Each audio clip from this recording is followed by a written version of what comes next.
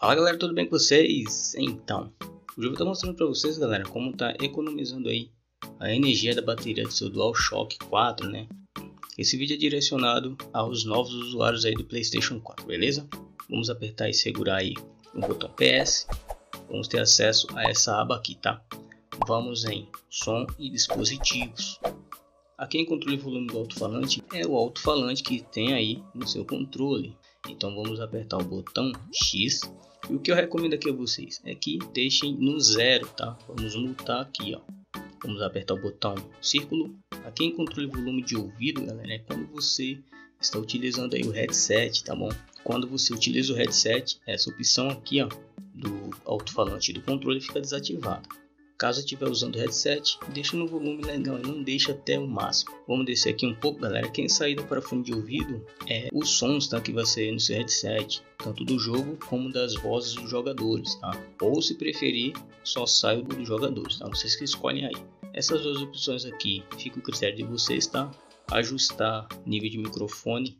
Quando você está usando headset, vai regular aí o volume que você quer que fique aí do seu microfone, entendeu? da sua voz aí para os outros players. Aqui em brilho de barra de luz do DualShock 4 é essa luzinha da frente do seu controle, tá?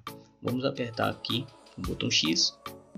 No de vocês provavelmente vai estar aqui, ó, claro padrão. Vocês vão perceber aí que ela fica com muito brilho e isso faz com que consuma mais energia da sua bateria. Então vamos apertar o X e vamos até escuro, que aí ele vai ficar com pouco brilho e isso vai fazer com que economize mais bateria. Então vamos escolher aqui escuro. Aqui em tempo para o controle desligar, galera, é o seguinte, vocês vão ter algumas opções, tá?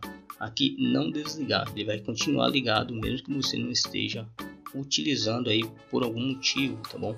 Eu recomendo que vocês deixem aí 10 minutos, porque aí após 10 minutos o controle ficar inativo ele vai se desligar. Mas se você for fazer algo aí que você acha que não vai demorar muito, aperte e segura o botão PS por alguns segundos, tá?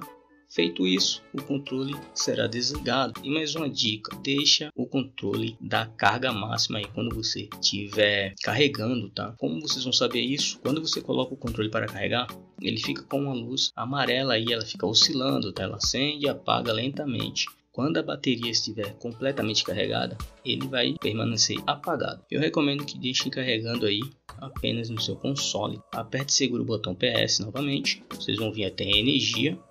Vocês vão entrar aí no modo repouso, tá? O console vai continuar ligado, mas consumindo pouca energia e em uma hora mais ou menos aí o seu controle vai estar carregado completamente, beleza? Fazendo isso, galera, que eu mostrei agora, vocês vão ter uma autonomia de bateria aí no mínimo umas 5 ou 6 horas de gameplay.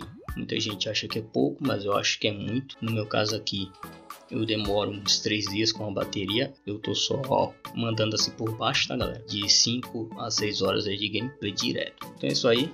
Espero ter ajudado vocês. Quem não é inscrito no canal, se inscreve no canal. Quem já é inscrito, compartilha com os amigos. Tamo juntos. Até a próxima. E fui.